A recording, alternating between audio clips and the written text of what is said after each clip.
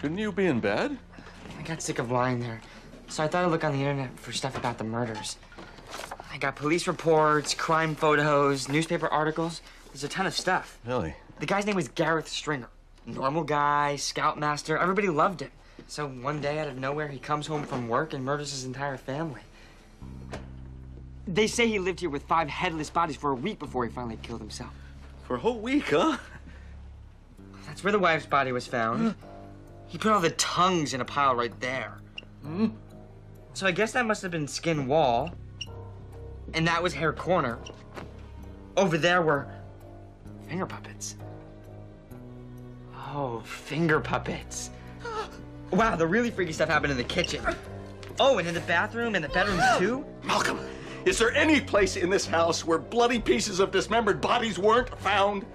Well, yes, right there. That's where they all begged for mercy.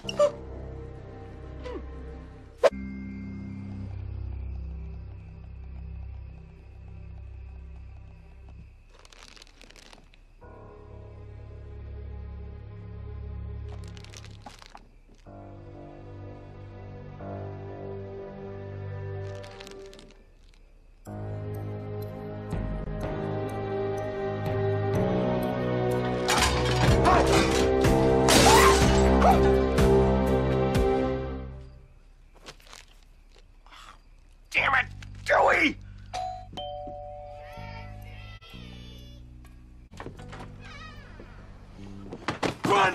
Run from this place and never return! That guy was good. Mm -hmm.